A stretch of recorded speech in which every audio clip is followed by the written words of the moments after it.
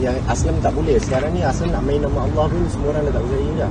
Aslam nak minta maaf pun memang dah tak ada guna bang. Tapi yang Aslam boleh cakap sebelum ni selepas Aslam janji tu Aslam memang betul-betul nekat nak berubah bang. Abang boleh tanya Nahdan, abang boleh tanya Caca. Berapa lama tu? Satu bulan lebih macam tu bang. Dia datang balik, dia kejar-kejar balik Aslam tak boleh bang. Aslam itulah Aslam cakap. Aslam pernah cakap dekat abang, dekat abang Fairul. Aslam punya lemah satu bang. So, asal boleh di mana asal bang. Aslam tak boleh nak lawan Aslam punya lemah sendiri lah. Sebab benda ni Aslam yang Tapi asal bersuah sumpah dengan Caca tu Lam. Ya Allah. Caca tu dia ingat dia gila dalam. Kita semua marah dia. Kak Ya marah dia. Akak marah dia. Along marah dia. Semua marah Tiada solusi hentikan Ana, Misha dakwa keluarga Marisa beri izin viralkan isu. Sejak pagi tadi, nama Marisa Dania Hakim terus menjadi trending di seluruh pelosok media sosial.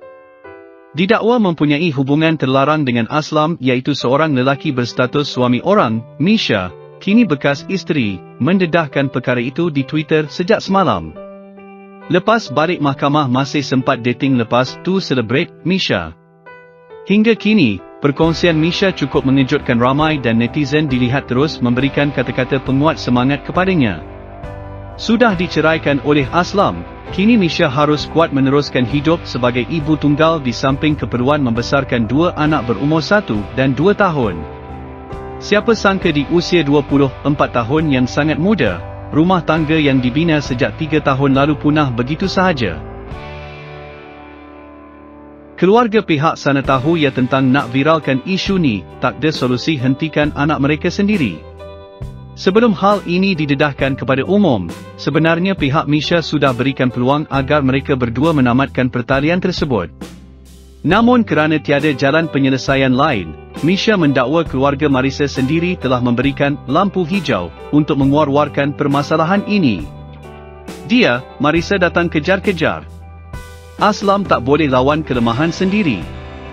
Dalam satu video yang dikongsikan Misha, Aslam akui mulanya dia sudah nekat berubah dan enggan lagi mengulangi hilaf sama.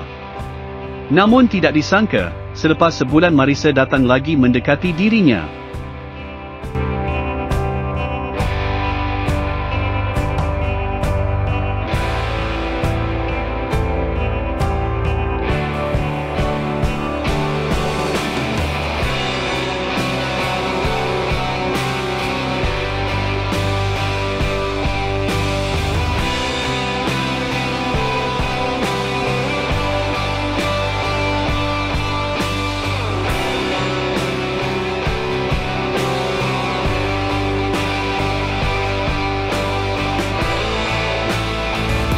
Tonton sampai habis kan? Apa pula pendapat anda? Jangan lupa subscribe, like, komen, share dan aktifkan butang loncengnya untuk notifikasi video terbaru dari channel ni.